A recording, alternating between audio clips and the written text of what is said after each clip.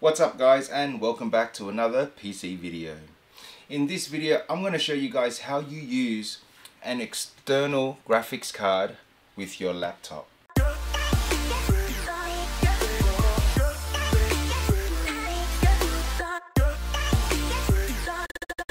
Now this has been done a lot but I want to show you guys how it is indeed possible and you can connect anything up to PCIe 4.0. Now there are some pros and cons to doing this but it works quite well. Now here I have an MSI Sword 15 A11UC laptop. It has a 11 800 CPU which is 8 core 16 threads which is pretty good. Uh, but the GPU is where it suffers. And the GPU it has on here is an Nvidia RTX 3050 which only has 4 gigabyte of VRAM and that's terrible. This is probably going to be one of the worst graphics cards you can get for a laptop or even for a PC but if you're on a budget and it's all you can afford it's better to have one than not have one at all. Firstly, the things you're going to need in order to get this to work is the external graphics card device. When you buy this, there are a few options that you can buy. And one is where it connects via your M2 slot NVMe, meaning you would have to remove your SSD from your laptop so that you can plug this in and it would read via the M2 slot. Now when you do that, you need to ensure that you've got another way to boot Windows and have your games on another SSD. Usually there are two ways you can do this. If your laptop is lucky enough to have another M2 drive, then you just install it in the other M2 drive and you're good to go. If you don't have another M2 drive, you could always use your SATA drive as your boot drive now, which is the 2.5 inch drive. It's already in here, but I'm going to open it up and show you in just a second. Because I'm going to be replacing my original boot drive, which is the M2 drive, I now have to use another boot drive which is going to be my SATA drive and that's going to contain Windows and my games etc. And of course power supply for your laptop, your external graphics card and a power supply to power the device so it can power your graphics card.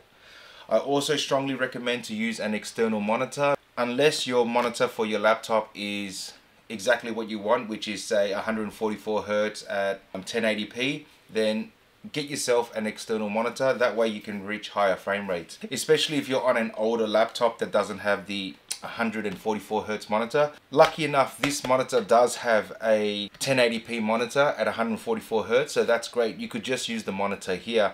But I'm going to show you how you connect it to an external monitor. That way if you have a really high spec PC monitor you can use it. The point is to show you how to connect it to an external monitor. So the first thing we're going to do is we're going to open up the back of this laptop and we're going to remove all these screws so that we can get inside the laptop and plug in our external GPU device. We'll just call it eGPU for short. This is an MSI laptop so all the screws are the same except for one.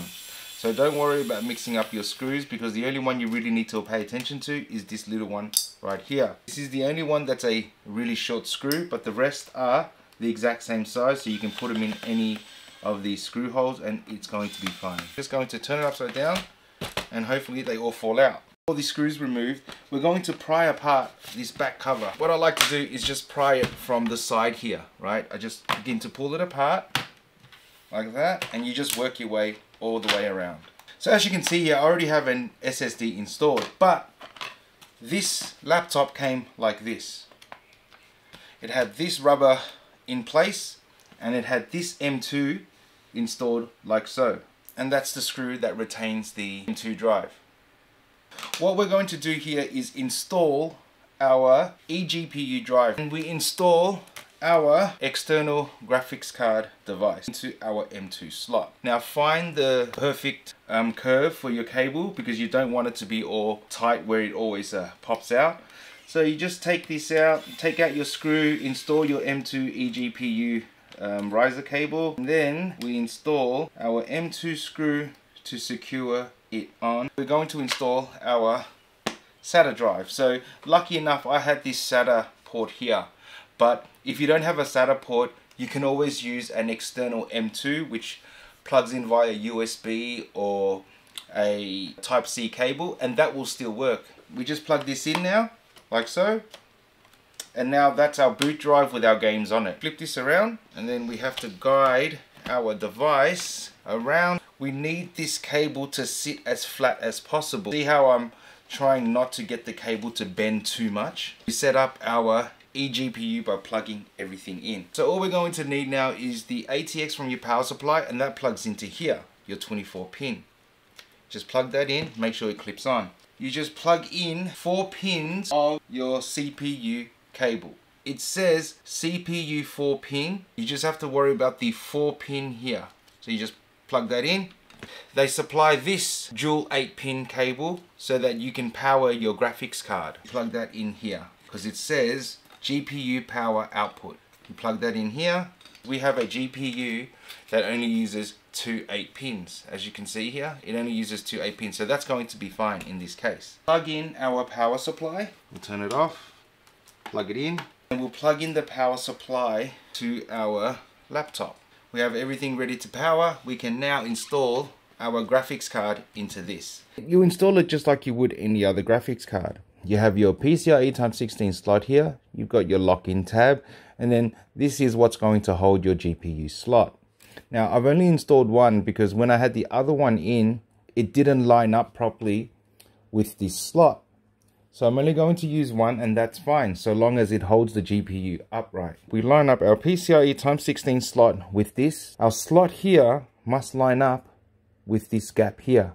And this thread must come through our slot where you normally install your screw for your graphics card to retain it. We line up our PCIe times 16 slot, ensure that our slot goes through here, the gap, and then this thread comes through where our screw is meant to go. Then you just push it down.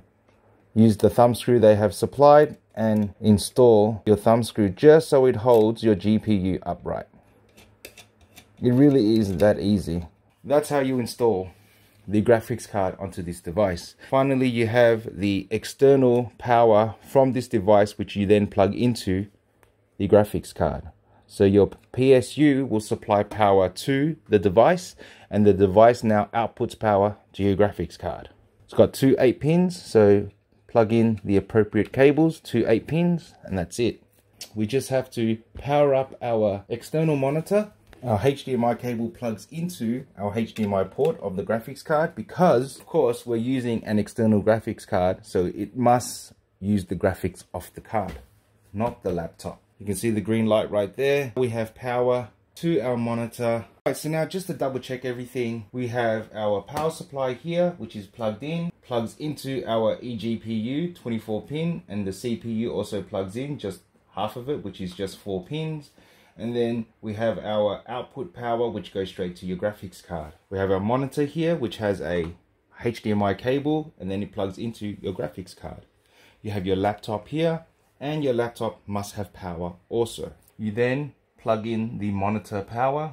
That is it guys. So now let's turn on our laptop. Now we just press the power button to our laptop and look at that. The PSU spins to life, so does the graphics card. We now have our boot screen. I'll close this up because it should boot onto this screen straight away. It's reading HDMI. There we go guys, look at that. I have installed the driver already in this case, I have an AMD graphics card. This is an NVIDIA laptop, so we need to ensure that we download the AMD driver. So if your display isn't all nice like this, it just means you need to download the driver first.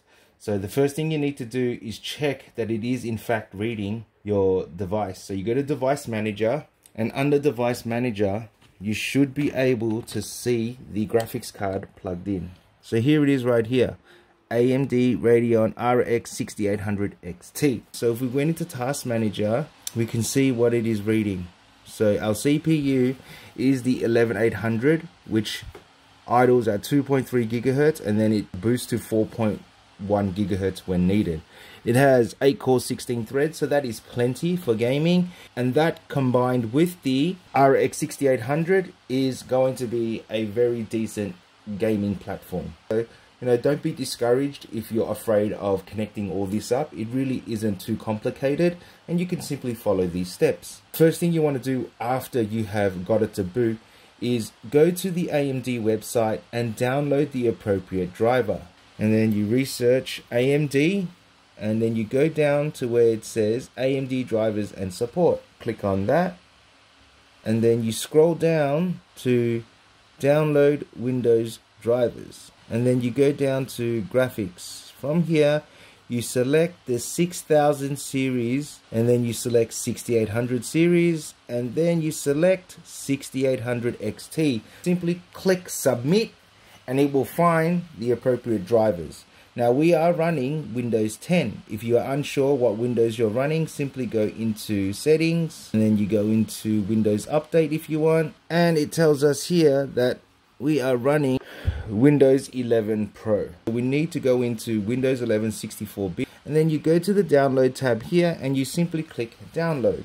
It will now download and once that finishes downloading you then install it. And I'm going to show you how you do that right now as well. So we just wait for it to finish downloading. Make sure you do have an appropriate power supply that will power your graphics card quite easily. Here we have an 850 watt gold MSI power supply so that is definitely going to do the job and we can see that we have downloaded the appropriate driver. We click on it and then we install it. You go yes you want to install. It will find the driver and initialize it. Just going to check against your hardware to ensure that you do have an AMD device. And right now it's saying yes it can read the AMD device. So now you install it now you just let the software do its thing and by the time it finishes you may have you will most likely restart your PC and from there it should just boot perfectly fine and your new driver will now run your graphics card with your laptop. Now don't get me wrong, your laptop will still work.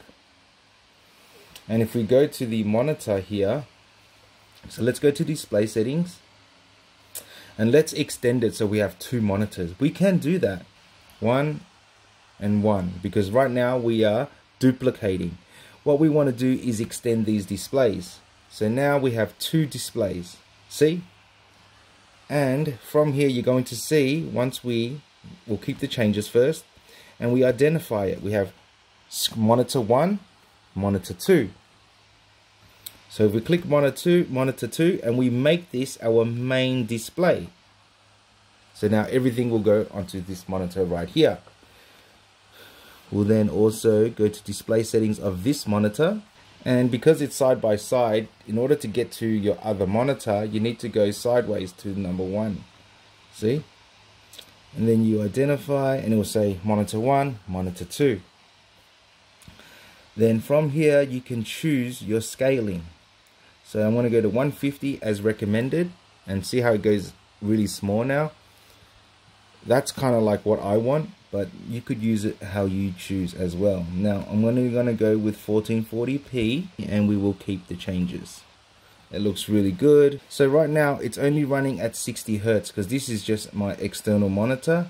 If we were to use this monitor here, which is going to be our internal display, you could choose 144 Hertz because this is actually a 144 Hertz monitor. Right, so that's basically it guys. That's how you set up your display and how you use an external graphics card with your laptop. So I really hope you found this video helpful.